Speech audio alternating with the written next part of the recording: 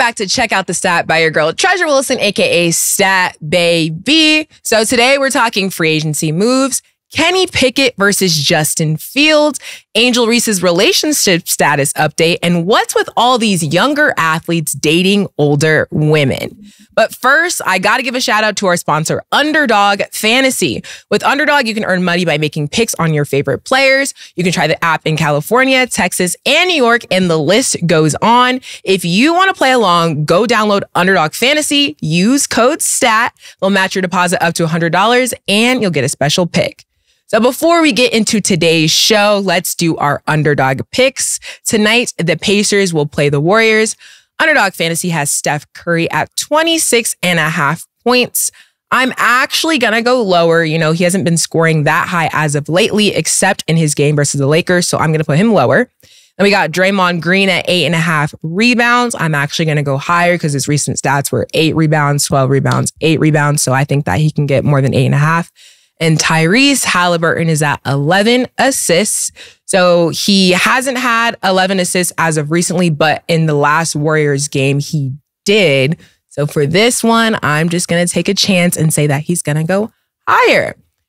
Okay, also for today's episode, this is going to be a little bit different because I wanted to have a true sit down discussion where I can talk about my thoughts and debate with one of my friends so today I am joined with the one and only Miles Johnson, aka Real Talk with MJ. Hey Miles, up? how are you up? doing today? How's it going, Stat? It's I'm good. good. I'm ready to get in this football, all of that. Yeah, get into the football talk. Well, one, love to have you back on the show. I loved our debate and discussion last episode that we had together. And your team has had a lot of moves recently, and so has mine. So there's a lot of things that we got to get into and Yep. discuss. But before we get into that, I know that you've had some career changes recently. Is there some things that you'd like to share with the audience? Because I've been peeping you doing your thing. You know, uh, working on Fox Sports uh, right now with First Things First, you know, with Chris Broussard, Nick Wright, uh, and all of them. So, yeah, it's pretty cool to be on the production, you know, and all of that. And I love New York, though. Like, thing about New York, they'll have you, like, out of bed at 7 a.m. because they honking and they honk for like eight seconds long. Like Yeah. they they really be honking, like get you out of bed, get straight to it. So now I like what you know everything about New York, and I'm having a blast at Fox. So That's yeah, dope. appreciate the shout out. That's dope. Yeah, I've been seeing your work um with them. I've seen like your stuff being aired, and then I've seen your work on your personal account. So I have to give a shout out to that. And as far as New York, ironically enough, I have not been in years. That's definitely a trip that I need to take next, but hopefully it'll come soon. Yeah, Okay. So, free agency officially began March 13th, and we've seen a lot of major changes within the league. So far, who do you believe won free agency? look, I could be biased. I could say my Eagles. I mean, we did get better on defense, on offense, and are we gonna talk about that? But Yeah. I'm gonna be unbiased in this. I'm gonna say the Texans. Okay. The Texans. I'm not mad at that answer. And so you have a Texans team with a rookie quarterback, CJ Stroud, a rookie head coach, DeMeco Ryans, that shocked the whole football world. I mean, CJ Stroud had the best rookie season ever. And now they're retooling. They got Danielle Hunter from the Vikings, who had you know, double digit sacks. He was he had a career year last year. He was highly sought after. They got him. They were in the Saquon Barkley sweepstakes. The Eagles went ahead and picked him up. But who'd they get? Joe Mixon, Right. who the Bengals were about to release. Then they were like, oh, we got the Texans who want to trade for him. Now, some are saying that they don't like the extension, but I feel like when you have a rookie quarterback, do the best to just surround him with weapons all over the field. So you're going to have Tank Dell coming back from injury. Nico Collins had his breakout year. I feel like the Texans are the biggest threat to the, Chiefs in the AFC, not the Ravens, who for some reason they don't want to run the ball when they've been running the ball yeah. all year in the playoffs. The Bengals, I mean, Joe Burrow, he be he be injured too much. I don't really Right. trust it. And just Ch- Chargers, Justin Herbert, they in the same division as the Chiefs. Like, Yeah. they might, they're not even going to get a, a home playoff game. So Yeah. I feel like the Texans are gonna really have complete dominance over the AFC South, mm-hmm. and it might just be you know rivalry between C.J. Stroud and Patrick Mahomes. So I'm gonna say Right. the Texans. The Texans, okay. I'm not mad at that answer because I think they definitely gave CJ Stroud more tools that he needed to bring it to that next step, bring it to that next level. As far as Joe Burrow's situation, I just feel bad because his injuries are really, I'm not going to say a detriment to his legacy because he still is Joe Burrow, but there's a lot of things that we need to see. And it's like the moment you're caught lacking, that gives the another team the opportunity to catch up. And I feel like that is what is starting to happen with Joe Burrow. I'm hoping that's not the official case, but that's what I'm seeing so far. But I'm not mad at Texans' answer. Like CJ Stroud has been doing his thing and he has more tools. But I don't think I'm biased. I got to say the Steelers for sure because duh. Okay, Omar Khan has made drastic changes to this team that has helped us a lot. First and foremost, we All knew right. that we had a quarterback issue, right? I'm not going to lie. I am a big Mason Rudolph fan. I think that he did exactly what the Steelers needed to give us that push. But I think having Russell Wilson, I'm very optimistic optimistic about him at the QB position. Then now having Justin Fields as a backup, I think that that's a pretty good spot to have. You know, just as a standard, I think that he can learn behind Russell Wilson. We only have him for a year, and then that will set him up to kind of take over for him once he does leave. I think Pittsburgh kind of has a trend of doing that, having somebody take over. We, you know, we take good care of our quarterbacks. I'm not going to say we did so much good care with Kenny Pickett. Um, shout out to Kenny Pickett. But Yeah. like I said, I think Mason Rudolph definitely did his thing. We got Russell Wilson for virtually nothing, which is a great What's asking your what's your expectations? What's your Um, expectations for next year? You know, I think that the season is going to start off slow. There's a lot that the team needs to adjust to. We know we have a new offensive coordinator, Arthur Arthur Smith, and now having Russell Wilson in that position, you know, with our wide receiver like George Pickens. I got to see that Pickens to Wilson connection. I don't really know how it's going to go, but I'm optimistic. I think a lot of the questions people had is like, well, if Russell Wilson didn't perform how we expected at Denver, how can you expect him to perform at the Steelers? I think everything is just the waiting game. That's all we can do just to see how things fit. Same thing with the Texans. Nobody thought that CJ Stroud was going to be able to come in on that team and dominate as quick as he did. And sometimes Yeah. things happen. And then a top inside linebacker was an immediate need also for the Steelers. And we didn't have a consistent filler Oh, yeah, in that position. Queen. So now that we got Patrick Queen from the Ravens, you know, I'm feeling a lot more comfortable. I think the key word is comfortable. I'm not exceeding my expectations because I don't know where we're going to go with this, but I'm in a good spot. And then, like I said, George Pickens, got Najee Harris, Jaylen Warren. Like we have a lot of good key pieces that I'm not mad about. And then we didn't have to give up too much. So I just think that we are in a safe space for a good trial. And I'm excited to see what happens. It's a little scary because I've been saying a lot of things about Russell about Wilson, but we'll see. Yeah. I think with y'all, uh, it's gonna be interesting, right? Because if the Steelers start off slow, Right. and I think it's going. It's reported that Russell Wilson he's going to be you know the starter, and then Yeah. Fields the backup. If they start off bad, Yeah. they they gonna be quick. I heard a report they say if they don't like what uh, Russell Wilson is doing in training, Training camp, don't camp, cut right. him. I'm like, dang. Right. Honestly, though, I'm so not the- even I know mad his at that. gonna be short though. Yeah, I'm not even mad at that though because I think that we're being too favorable just because, you know, there are favorites. Like I think Steelers likes to have a family-based team, which is great emotionally wise, but we got to start if things need to be cut off, things need to be cut off. If he's not performing where we need him to perform, we got to be able to make that next move. And I think that is okay to say as a team if you want wins. We're not here to satisfy everybody's feelings and emotions. We are here to win. And there's too many things on the table, just even being a Steelers fan and being part of this fan base and even being part of the organization that we cannot keep letting slide. We just can't. Yeah, So that's one of those things that it's I like, got y'all winning a playoff had to do it. A playoff game. You're like, that's it though.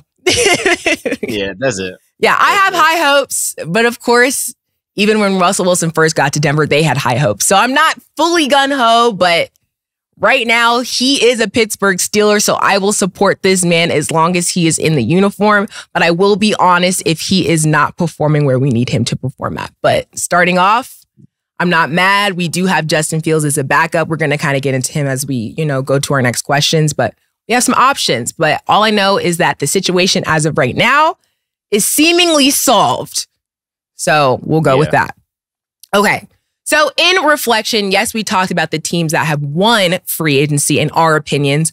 What team do you think should have urgently made a move? I'll say the Jaguars. Okay. So here's my thing. You let go of Calvin Ridley. Right. It never makes sense to let go of your number one wide receiver right. for your young quarterback. Right. Like you y'all moving backwards. Like what you're supposed to do is what happened with Josh Allen? They got him Stefon Diggs. They right. kept Stefon Diggs. What happened with Jalen Hurts? They acquired AJ Brown. He didn't start off with AJ Brown. People forget that. He started off with DeVonta Smith. They acquired AJ Brown. Now he's having, you know, Pro Bowl years and going to Super Bowls and all that. So the Jaguars are moving backwards. They signed Gabe Davis for more money than the Eagles signed for Saquon Barkley. Right. How does that work? How does that work? Like Gabe Davis, he's he's a good receiver, but he's a two. He's right. he's great as a two. You can't pay him as a one. So I mean, you, they got Christian Kirk, um, and I like the coach Doug Pederson. Uh, I feel like he should still be in Philly, but with Trevor Lawrence, you got to give him the, uh, the most amount of help that he needs. Right. And so if you can trade for a guy like Brandon Aiyuk, who yeah he was texting. I mean, he he was I mean, he was on Twitter talking about, you know, he's twins with you and your coach. So right. I'm like, is he about to be a Steeler? Right. I'm like, so I think the Jaguars should do everything in their power. I heard, you know, the 49ers, they want the 17th overall pick and Zay Jones. If it comes to that, do it because Brandon Aiyuk, he's elite. Right. And Trevor Lawrence, he's going to need all the help that you know, he's going to get when you have CJ Stroud and the Texans in your same division that improve mightily after a breakout season. Right. Okay, good point. So the thing about Calvin Ridley, which I think is funny, maybe it's delusion. I definitely thought the Steelers are going to pick him up to go with George Pickens because that would have been a power move. I think that we need more depth at the wide receiver position. But with that being said, because of the things that the Bills have done, I think that they should have been the team to urgently urgently make a move because they have such a high ceiling. Okay, they're 11 and six, won the AFC East and lost in the divisional round. They were right there. I think that this is the team that should have been making more pickups. I think losing Gabe Davis to the Jags didn't really make up much sense. I'd rather have him and keep him on the team just in case. They lost a key defensive player in defensive end Leonard Davis, and I think that they could have made a lot more pickups for the team. Some other notable cuts: is Tre'Davious White, Mitch Morris, wide receiver Deonte Harty, and I think that they need another wide receiver pairing with Stefon Diggs. I think that this would have made a lot more sense to give the Bills offense that push that they need because once things become so stale for so long, this is when people start looking at the coaches and the coaches don't want to get blamed. So they start looking at the quarterback and you can't just keep pin picking each individual player because it's going to come down to what the team is doing as a whole. I mean, we know Josh Allen yeah. has a super big six year contract worth up to $258 million. They probably don't even have much money to work with because all that money is going to him. But if we keep seeing that they just keep getting to that point and not surpassing that, that's when we start asking, okay, what moves do we need to start making as an organization to build? Because if we're not building and we keep getting stuck at win, but not the overall winner, that's when it's like, all right, we got to do something different. So I think that the Bills, even though, you know, they got rid of a lot of players, I think they're heavily relying too much on draft picks. And once you get obviously yeah. lower in the totem pole for draft picks, I just think it gets a little bit more tricky. They might get lucky and get a Mr. Irrelevant like a Brock Purdy in another position that they need filled. But I just think that doing all those changes right now may have hurt them because they've lost some key defensive pieces. I don't really know how it's going to go for them. And then, of course, the mm-hmm. Panthers, I think that they just kind of hit rock bottom. like, oh, rock they bottom. are just in yeah. the worst situation possible. And it's really sad to see Bryce yeah, how Young. Low can you get? yeah, like you, you can't, you can't get lowered. That's the problem. It sucks to see Bryce Young in this, you know, position because now people are questioning his talent as a quarterback. And we've seen, you know, the sparks of great talent that he has, but he has not been able to showcase that on the Panthers. And I don't foresee him being able to showcase that anytime soon. So, sticky situation, but uh, that's what I think. Definitely could have made more urgent moves.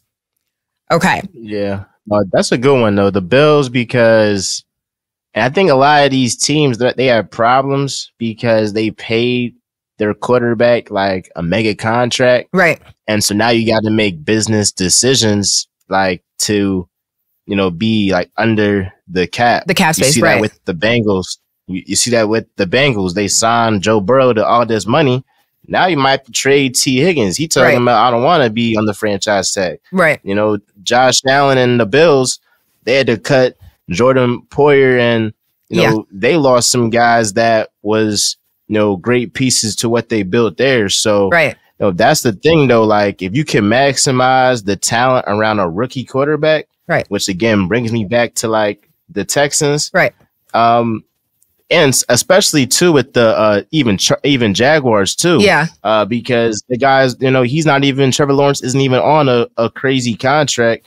Uh, but you're playing around and not signing guys to make him be the best quarterback he can be. So you see, like the good side of it with the Texans, you see the bad side of it with with the Jaguars. Right. And then even as far as reconstructing quarterback contracts, I know that Patrick Mahomes, you know, has been open to it to help his team. And that's crazy coming from somebody who's actually we're actually seeing the wins from him and he still wants to do what he can to make his team the absolute best. You know, I don't know exactly how these contract situations are going, but to see it with other quarterbacks and them not even letting up. I think Dak has mentioned that that may be happening for him, but it's like you should want to, especially when you're making that much money. I know money's money and I get it. Like, keep all the money that you want. But like, when it comes to just being able to cross over that hump, just giving up something that you can give to another player that would help your team as a whole, I think a ring is a lot more worth it. So, because it's part of your No, legacy. He's So it's like, taking the playbook out of Tom Brady. yeah, Like that's what Mahomes is doing. And Mahomes is more talented than Tom Brady. right, So for him to take a pay cut, I mean, it's overkill. I mean, now you can, you know, sign these guys that you're gonna have up on your books, like Right. Trent McDuffie, uh, and you able to pay Chris Jones, who deserved that mega contract. So no, I love what Mahomes is doing. He's serious. He trying to three Right. He trying to three Right. He not playing no right. games. And that's the point. Like, he's making history. So I'm, as much as how I feel about the Chiefs, I support it because I will never, you know, diss a winner. He's doing his thing. Shout out to him. Better than Tom Brady is still debatable, but we can get into that for another conversation for another day. Um, and then another question before we go to break and continue our discussion. How do you feel about the Eagles having Kenny Pickett versus Justin Fields? Oh man. A plus move. A plus move to sign Kenny Pickett. I ain't gonna lie, he wasn't that great of a starter. Yeah. But as a backup, oh yeah. I mean, Kenny Pickett, well, he's 14 and 10 in his career. Yeah. That's good. You won some games. And now you have, let's just say the worst case scenario happens. Maybe he hurts, he dislocates his finger like he did at the end of the season with the Giants. Or Yeah. he was kind of playing on a bum on a bum knee, I think, because they knew, all right, we can't really sit this guy because we, we don't trust Marcus Mariota. But like Kenny Pickett, you got to be an absolute scrub to come in and mess up when you got Saquon Barkley in the backfield, Yeah. AJ Brown, DeVonta Smith, Dallas Goedert. I mean, like, then you're really like a scrub. Like, get out the league and go join like the UFL or something like that. Like, anybody can play well with those weapons. But I feel like with Justin Fields, I'm actually mad at the Eagles for even entertaining this. Really? Why are we even talking about Fields being the backup? That doesn't make any sense because what's going to happen? Oh, Hurts might have a bad stretch, maybe like two games. Maybe the Eagles, maybe they lose three games like the 49ers did, three Right. games in a row last season. What's Philly media? What they going to say? Oh man, if you if Justin Fields, hey, let's get let's give him a shot. Yeah. Justin Fields, the most important thing is that Justin Fields is going to be on the bench Right. mad, thinking to himself, yo, if I had AJ Brown, Saquon Barkley, DeVonta Smith, Dallas Goedert, that offensive line, this you know what I didn't get Yeah. in Chicago, imagine what I would do. So I think it's a A plus move because Kenny Pickett is content with being a backup. Yeah. Justin Fields wants to be a starter, rightfully so. And I support Fields. I think he has a lot, you know, left in the tank. I mean, he just started. It's not much more else, you know, it's not like he unloaded the clip. So Yeah. I think that, you know, Fields has a lot of potential, but I don't want that potential in Philly. And my last point is we got a similar situation to that with Carson Wentz and Jalen Hurts, with Carson Wentz and Nick Foles. Yeah. And Carson Wentz was always looking behind his back, like, you know, if I mess up, I know Nick Foles is going to come in. I know Jalen Hurts is going to come in. And so he was a little bit, he was more mentally weak than I believe Hurts is. But still, the quarterback position is so like, it's so important. You can't treat it like any other position. Yeah. At linebacker, you're gonna need depth at linebacker. Yeah. It doesn't matter if you can you can switch that position easily. But quarterback, that's just that's just a very delicate spot, and you don't want a toxic quarterback room. So I'm happy Right. with Kenny Pickett, and I just don't want Fields being a backup for my franchise quarterback. I'm sorry. Yeah. I know. I wonder how the the the mental goes for, you know, Justin Fields and Kenny Pickett both being starter quarterbacks and then both ending up being backup quarterbacks. But like we've seen kind of last year, it was the year of the backup quarterback. So I feel like in Kenny Pickett's situation, if he wants to be, this is about to be low key a bold take, if he wants to be a starting quarterback again, his best situation was staying in Pittsburgh. I know he was saying that he didn't want to play behind Russell Wilson, but Russell Wilson, we only have him for a year. I think that he would have been way more likely to continue having playing time staying with the Steelers rather than going to the Eagles because I think he's setting him up himself up to stay a backup quarterback. I don't think anything is happening to Jalen Hurts. I don't think anything's being moved for him. So it's just situational wise. I don't think it makes much sense because now Kenny Pickett will be known as Kenny Pickett the backup, which sounds insane. I mean, at Pittsburgh, you know, he already kind of has to reprove himself in general because He was You know- a first round pick. that's what I'm saying. And I mean, like just being in the situation that he's now in and he, you know, he already played, you know, a good amount of games. People weren't highly impressed with him. That's why people were starting to prefer Mason Rudolph over him. So to go to the Eagles now be stuck at that backup QB position, I think he might have set himself up to stay that way for the rest of his career. So that's my only thing about it for him. It's good for you guys as far as your team, but for him as a person, as a quarterback, I just don't know if I think that that was the best move for him. So hey, I know like how he looking at it. you know, I get paid some cheese, you know, a couple million dollars to be a backup versus I'm in Pittsburgh behind Russ. Russ might, you know, I don't want that scrutiny like yeah, or just that bad energy. I think for him, I don't know. It was reports that like he didn't want to compete for this spot. I think, I think the Steelers were probably telling him like, you know, no, like you can still compete. Like it's not set in stone that Russ is going to be the starter. In his head, he's like, you ain't bring this guy in. If you, don't back up. you don't bring Right. Russell. Like, Right. come on, like stop capping. Mike Right. Like, come on, bro.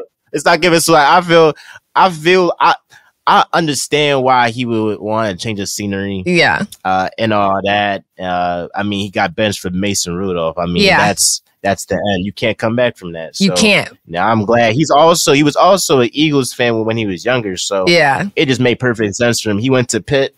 He's staying in Pennsylvania. yeah, Might as well play for you know his uh his team that he rooted for as a kid. yeah. I definitely get that too. I just don't think the money is more important than your legacy. But I see both sides for sure. You know, shout out Kenny Pickett, but it's about Justin Fields now. All right, y'all. So we're going to go to break. And when we return, we will discuss Caleb Williams. Don't go anywhere.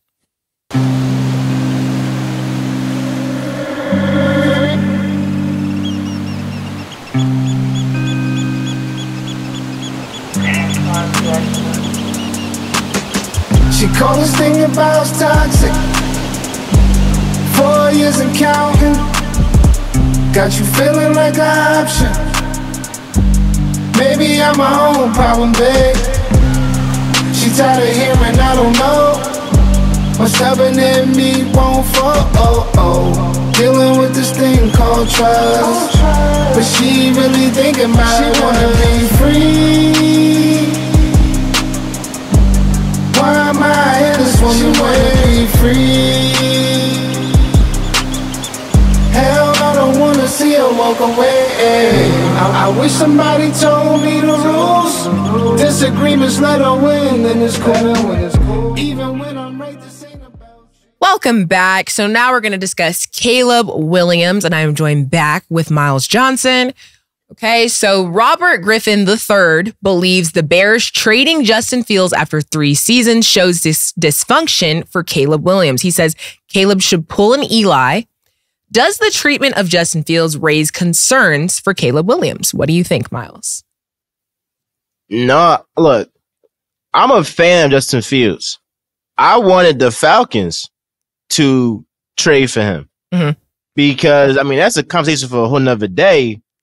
With the fact that they chose a guy coming off an ACL or an Achilles at 36 years old, Crazy. like Crazy. over Fields, like Fields has a much higher potential, low risk. Why don't you do that? But I feel like you know Fields wasn't good in Chicago. He wasn't good. They got him. They got him weapons. They got him weapons. But as a pure pocket passer, he wasn't it. And he had a he had a good defense. Like like so. Ultimately, I think with Fields, it ran its course.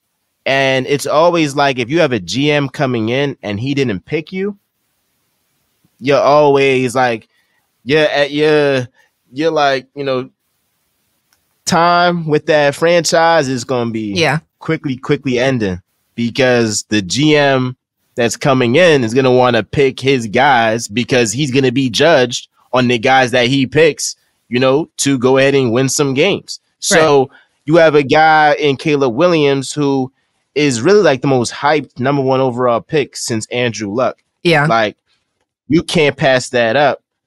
It would have been interesting if the Bears like potentially traded down, drafted Marvin Harrison, and now Justin Fields, he has DJ Moore, Keenan Allen, Marvin Harrison, and maybe some more draft capital that that that they can do to make another move defensively. They signed Jaylon Johnson. They've been making moves. They signed my boy D'Andre Swift. People in Philly know how great he is, but he's a baller. He's a baller and he wasn't used right. So the Bears, Ryan Poles, that front office, they've been making moves. Fields hasn't been done crazy wrong. I feel like it's just like he wasn't performing. And again, as a pure pocket passer, like he wasn't it. He can run, but like when you have a guy in Caleb Williams who's throwing darts all over the place, it's like you got to go with that. That's just how it is. Right. I mean, they did they did him a favor by sending him to Pittsburgh. Right. When I bet you, if they traded Fields a couple weeks ago, they could have got a third round pick, Yeah. maybe even a second round pick. They Yeah. they traded him to where you know they felt like you know he could do well and and, and all of that different conference. So I don't feel like the notion that the Bears aren't a good front office. Like I think the best move they did was like trade. Well, they traded down, and now as a seven win team, they have the, the number one overall pick because that's the Panthers Right. pick. That's a great front office that played their cards right. So again, the notion that Caleb Williams is going into a terrible situation. Last point, Joe Burrow. He went to the Bengals instantly, instantly made them contenders. Right. This is a franchise that ain't reached no Super Bowl. Like they wasn't no Right. perennial contender, all that. Like he changed life. CJ Stroud changed life. One If you thousand that percent. guy, You changed life. Justin Fields, he had his shot. He ain't do it. Now it's not over for him. The jury's still out. Yeah. But again, you're gonna have another guy in Caleb Williams coming up, and now the now, now the pressure is on him to change life. So that's what he's got to do. He got weapons. He got Keenan Allen. He got DJ Moore. He got D'Andre Swift. Now it's up to him to make it happen. Right. I think that was a great take. Couldn't say couldn't have said it any better. I do think what Robert Griffin III said was silly. Like like you literally just said, Justin Fields just wasn't that guy for Chicago. And I think him being at Steelers gives him the opportunity to rebrand and rebuild himself.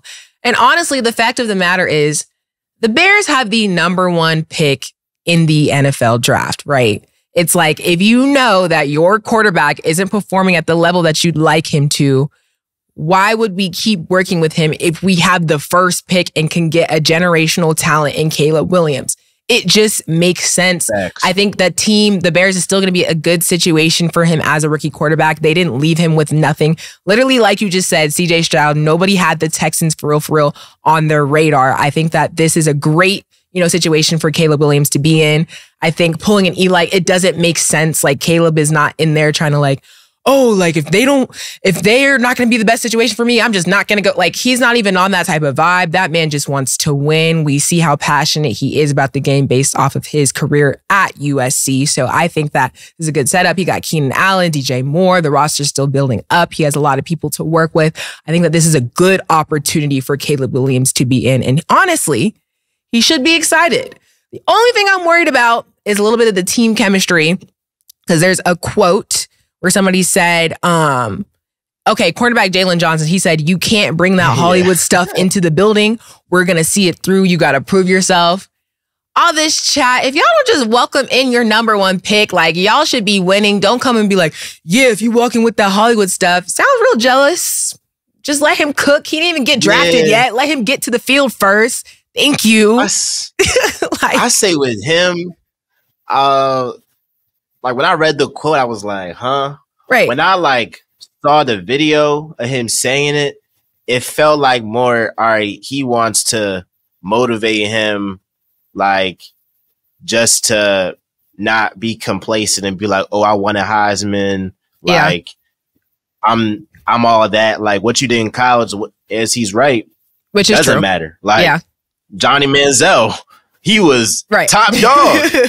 Cabs comes to the NFL, it's you feel me. Right. So uh I think that uh and I think I've been victim to that. Like I would kind of hold it against Caleb Williams because he didn't go to the combine and stuff. But no, he he does. He he just want to play football. He just want to play football. Yeah.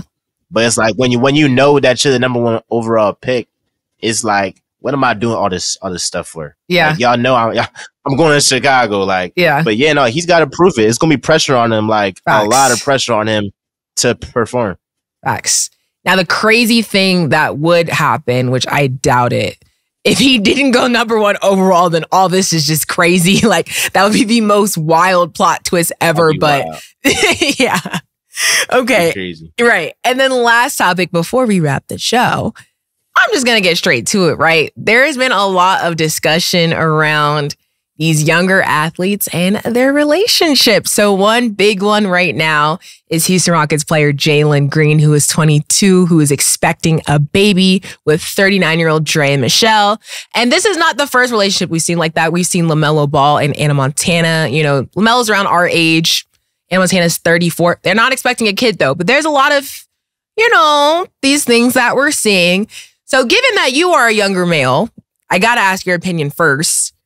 How do you feel about these older women dating these younger athletes? Do you think it's a problem or do you think that we are exaggerating what's going on? I mean, it's kind of like don't hate the player, hate the game. and Jalen Green, he lost the game. he lost. I'm sorry, like, and look, like, I feel like you 21, you're a millionaire, rock star. You go to each city, you know, you're top dog. Like, you know, a lot of people would make the same decisions that, like, you know, he, he would make just because uh the amount of access that you have and you able to access people that you probably when you was younger was like, oh my god, she's so bad and all Right. that. but on you know, Draya's side, it's just strategic. Like literally, all the guys that's her age, they know what she about. So it's like they not about a wife her. Right. So she looking at the young guys that don't know nothing, that just look at her and like they eyes just like Yeah. boing, boing, like, and so I think yeah, with Jalen Green, he just fell victim to the game, and he lost. Like that's what these other women gonna do. They gonna go back to the young guys that gonna make them really feel like you know how they felt when they was back in in their in their twenties. But that's what I feel like a lot of you know some women do is the guys don't want you your age, so now you you try to cling on some, so you gotta go to the the younger guys that don't know any better. But yeah, Right. Jalen Green, he lost that. He lost. Yeah. It's so crazy how that works because I feel like the way society goes, like, it'll be like an older woman going for a younger man that just so happens to be a millionaire, right? But then if it's like Yeah. reverse and it's like an an older man going for a younger woman, the, the man happens to be the millionaire and the girl, you know, might not really do nothing, you know. But me personally, I'll be damned if I am 40 years old getting knocked up by a 21 year old dude. I don't care. That's, That's silly. true. Like, that is so silly. And like, what does that say about you? Especially because your son is the same age. Like, what I was saying previously is like, I'm all for like, if that is your your dream, your aspiration as a younger man, and that like, she is so bad, like I've been watching her all my life, go do your thing. But a baby is an entire other situation. It's just one of those things that's like you could have at least waited because the fact that he's younger than us is cra- like it's crazy because we already know that we're hella young.